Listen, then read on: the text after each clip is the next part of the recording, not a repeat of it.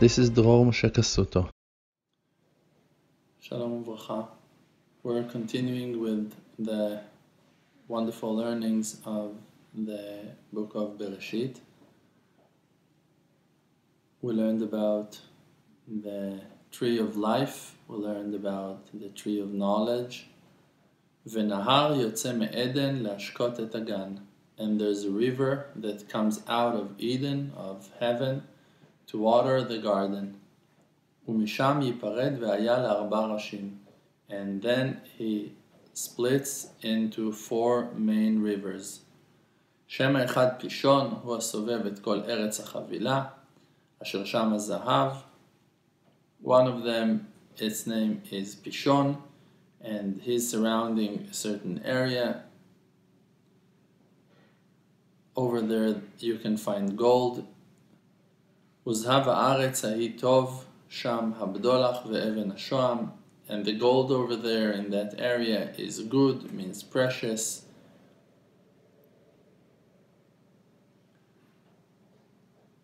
Sham habdolach ve'even ha'shoam. There are good stones and a lot of wealth that you can find over there. Again, it's we're not talking about a physical location. Even if in a certain aspect the in that ancient time those things took place physically as well and those rivers really went out of a certain place even if we're learning and trying to learn it in that aspect still. For us the teaching of the bible of the wisdom of heaven must take us to an inner dimension into our source of inspiration to understand what does it mean that there is a river that goes out from that ancient place?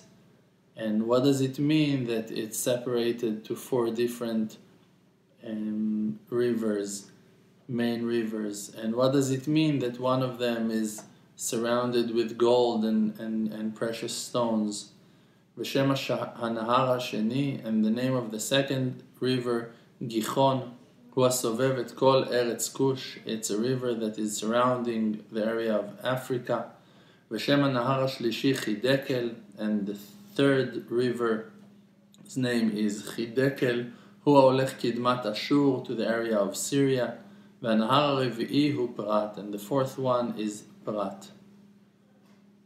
So, What's the meaning of all that? The main meaning is that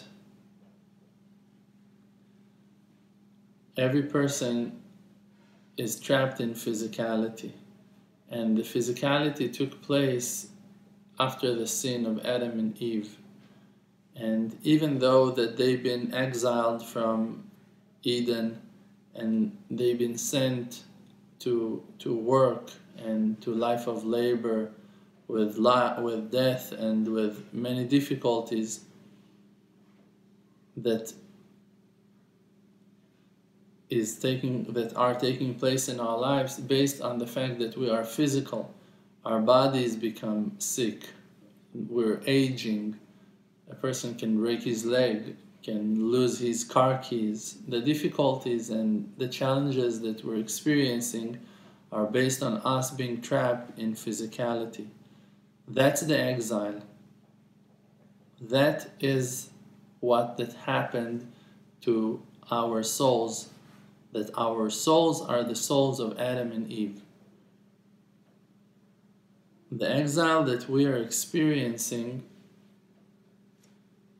means the life that we're experiencing, our life of exile, our life that are stuck in physicality.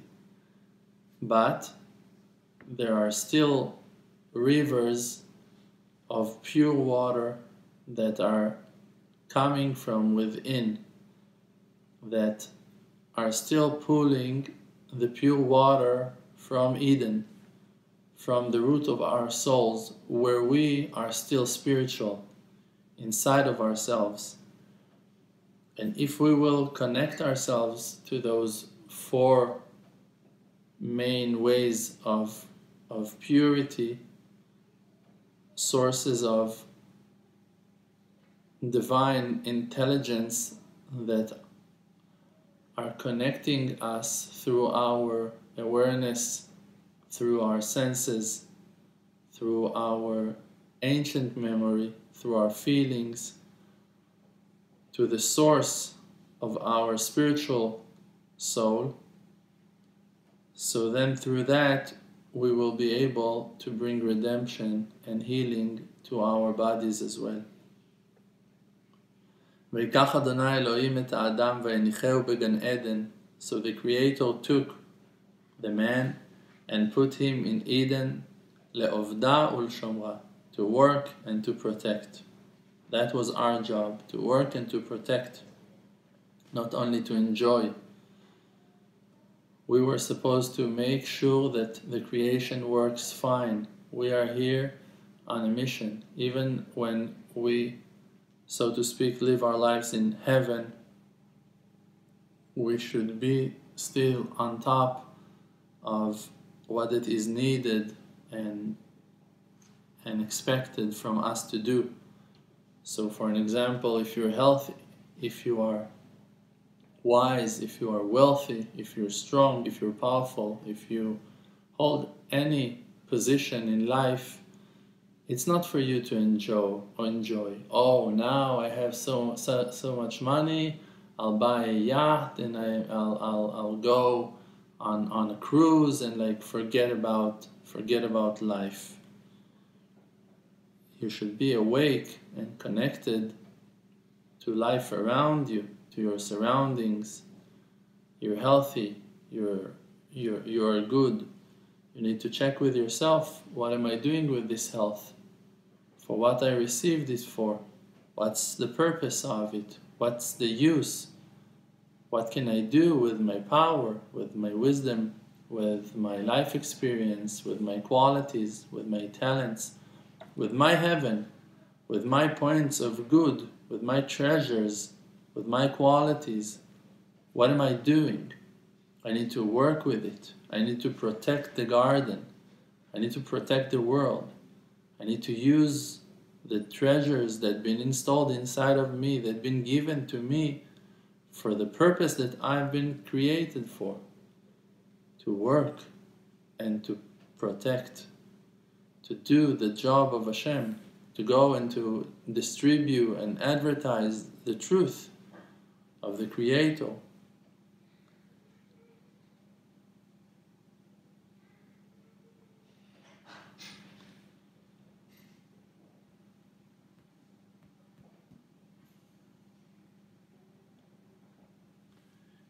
in a way, men and women are very much alike, and in a way, men and women are very different.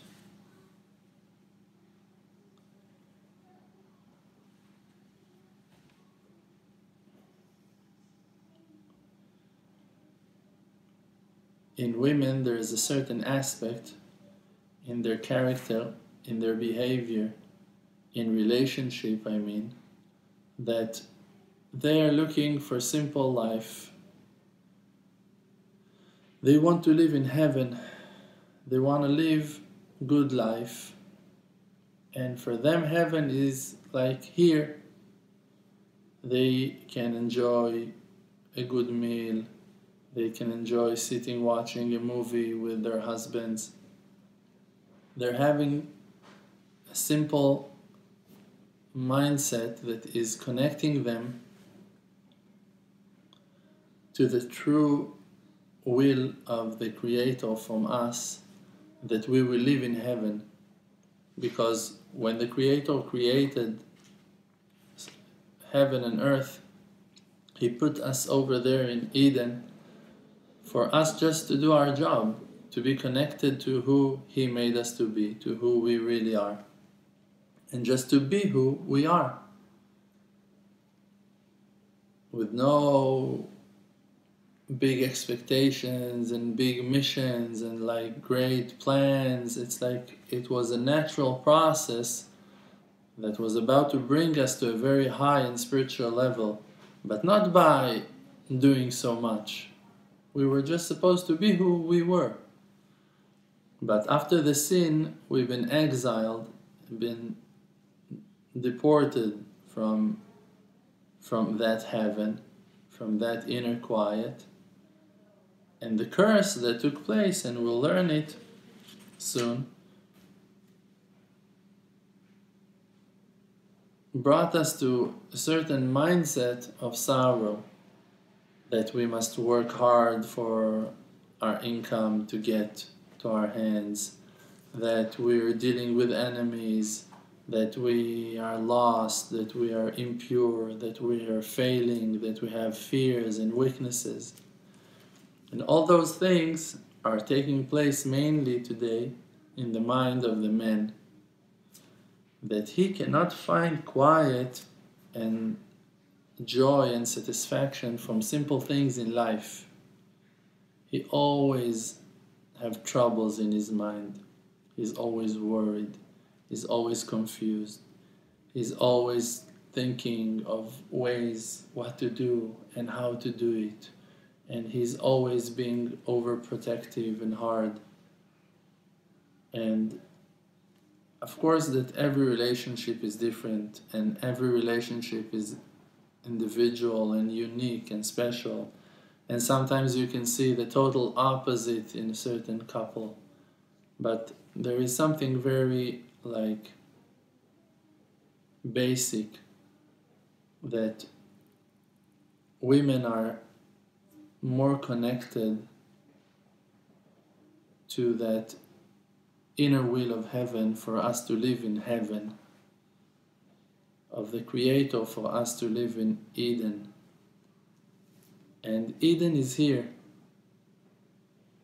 You think that Eden is over there, somewhere over the rainbow, where the bluebirds fly. It's, it's not over there. It's not over though. Eden and heaven is here. It's here when you connect yourself to that aspect of your life that the Creator already created the world and He already made everything for you. And all of your livings and all of your needs, everything is being supplied to you. Look at yourself now. Are you breathing because that you are breathing or that the Creator makes you breathe?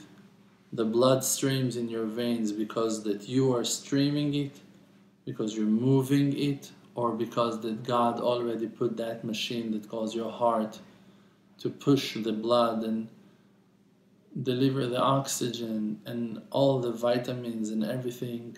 Are you digesting the food? Are you separating the good, the fibers, the vitamins, all the things that are needed for you and throwing away the waste or that your body is doing it for you?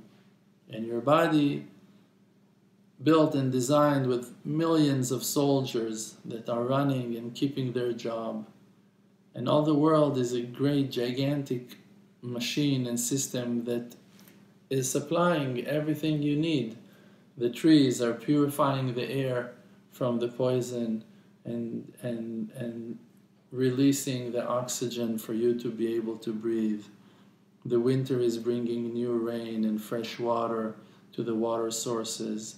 Animal animals are going and coming. And and and even in the modern culture like the government even if you have issues with it it's working for you. And many systems are working for you and it's true that there are many things that we should fix and we want to fix and we want to make our lives to be much much better and nicer but look how many workers are working just for you, for you to be able to open a can of, of, of pickles. Like, do you know how many truck drivers are waking up every morning and driving for weeks from one side of the country to the next, not meeting their families, and they're putting fuels in their trucks, and farmers are planting those cucumbers and harvesting and bringing them into factories. And designers and, and, and softwares programmers are people are working on the design of those cans and advertising it in the local newspapers and grocery stores and, and supermarkets. And and and there are lawyers to every company and there are advertisers and there are workers and there are like like managers to the stores and cleaning ladies and men that are coming and immigrants and not immigrants and like and and all the world is working for you to open your pickle can and choose the one you like and just gonna say a small blessing and, and, and eat it.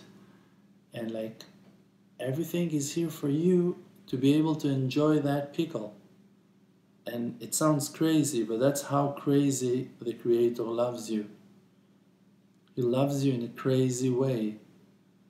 And he makes sure that you will have everything you need that you will receive this wisdom through your iPhone right now when you sit like alone in your life and, and just like he's talking to you through through the Emunah channel through the